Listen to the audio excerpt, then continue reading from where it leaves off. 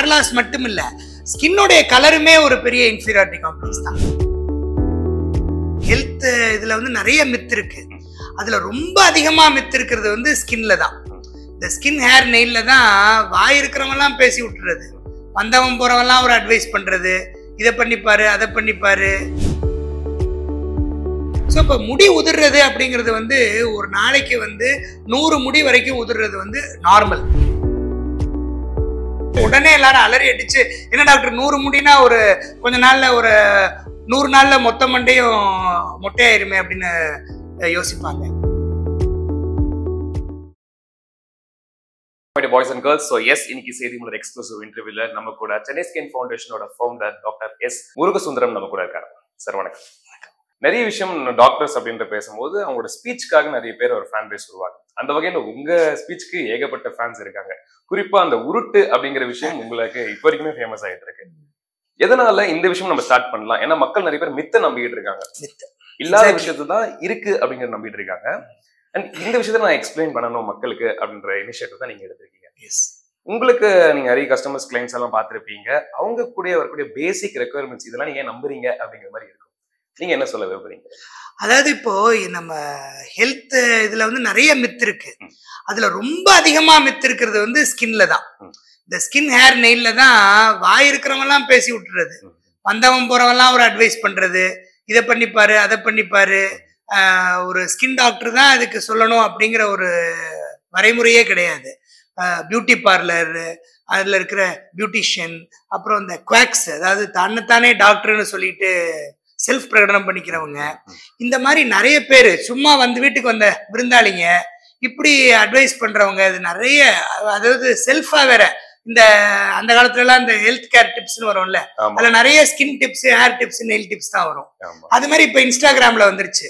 ஆளாளுக்கு ஒண்ணு அர்த்தம் இல்லாம ஒரு இஷ்டத்துக்கு அதை அதெல்லாம் கேட்டோம்னா எப்படி ஒரு அறிவுக்கே பொருத்தம் இல்லாம இருக்கும்.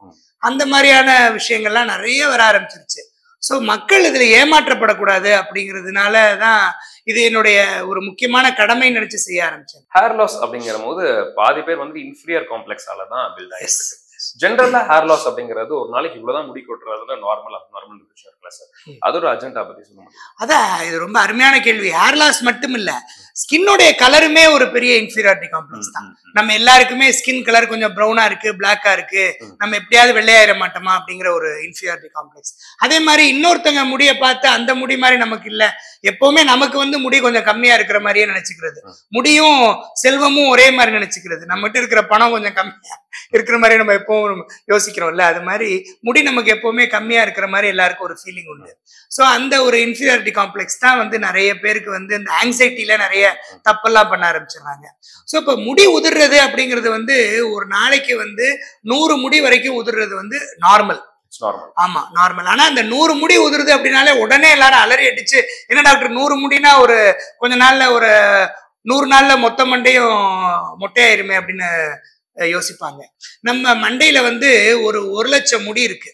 ஒரு லட்சம் முடியும் வந்து ஒரு நூறு முடி வந்து நம்ம சொல்ற மாதிரி டெய்லி உதுறது நார்மல் அப்படின்னு நினைச்சோம்னா அவங்க சொல்ற மாதிரி கொஞ்ச நாள்ல மொத்த மண்டையும் வழுக்கை ஆயிடும். ஆனா அப்படி இல்ல.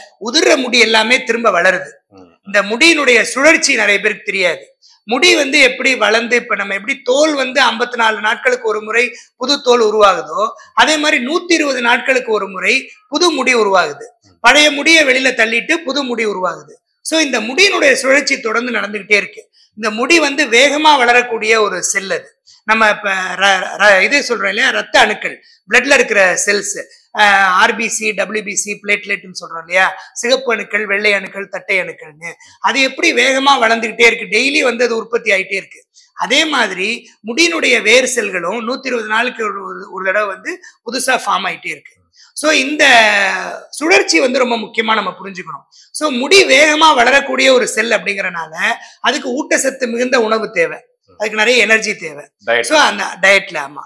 நம்ம அந்த இதுக்கு முக்கியமான விட்டமின்ஸ் பாத்தீங்கன்னா விட்டமின்ஸ் அண்ட் மினரல்ஸ் அந்த தாது பொருட்கள் தான் ரொம்ப முக்கியம். முக்கியமா அயன் அயன்கிற அந்த மினரல் இரும்பு சத்து கால்சியம் சத்து vitamin B twelve vitamin D மற்ற எல்லா வைட்டமின்ஸ் புரோட்டீன்ஸ் ஏன்னா முடி வந்து கெராட்டின் அப்படிங்கிற ஒரு புரதத்தினால உருவாகுது. புரோட்டீன்னால. ஸோ அந்த புரதம் ரொம்ப முக்கியம். நம்ம உணவுல வந்து கார்போஹைட்ரேட் ரொம்ப கம்மியாகவும் புரதம் அதிகமாகவும் எடுத்துக்கணும்.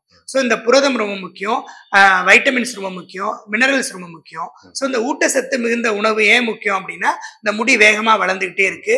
நமக்கு நூறு முடி உதிர்றது நார்மல் அப்படின்னா கூட அதே நூறு முடி திரும்ப வளர்ந்துருது புதுசா. ஸோ அதை தான் நம்ம வந்து இந்த நூறு முடி மட்டும் உதிருது.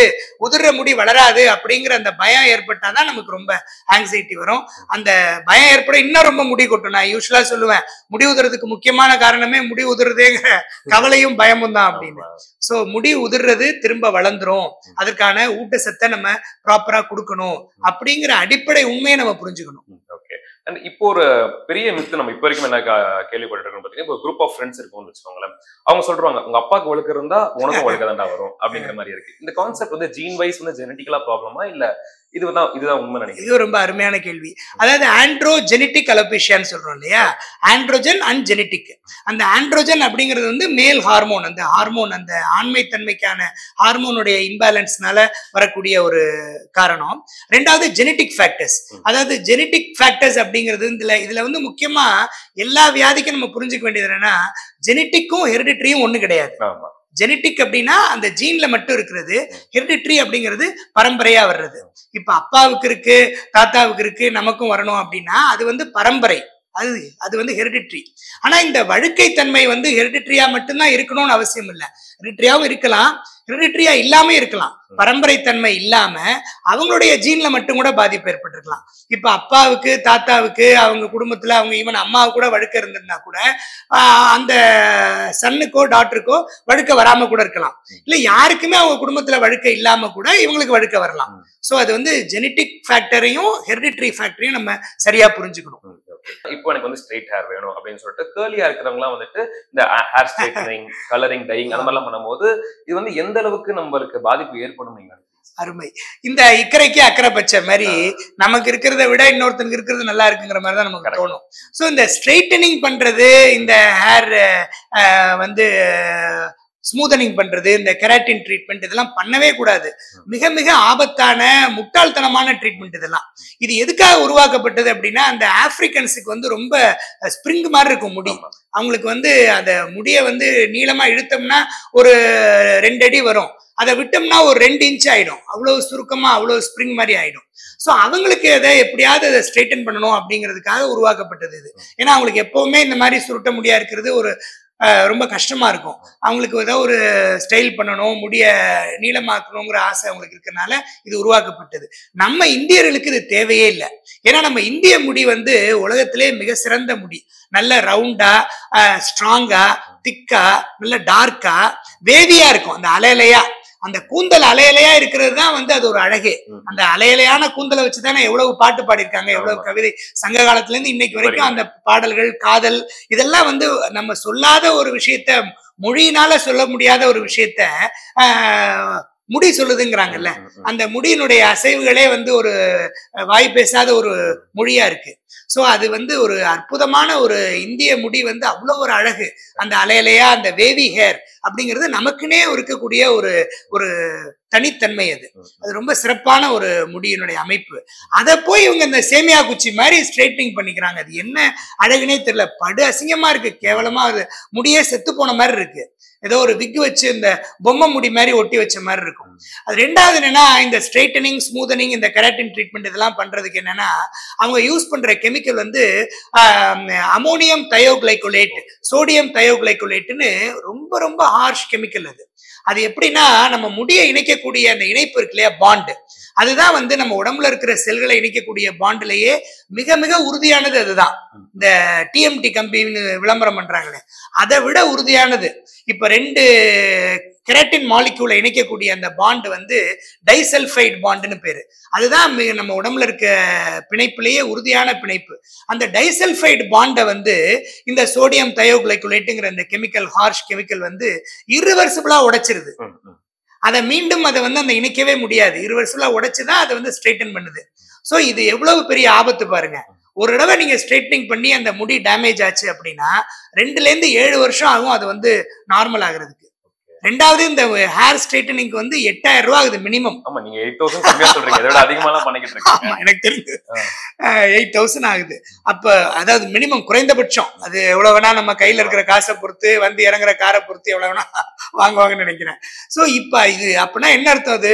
சொந்த காசுல சூனிய வச்சுக்கிற மாதிரி. தானே காசை கொடுத்து நம்ம முடிய கெடுத்துக்கிறது.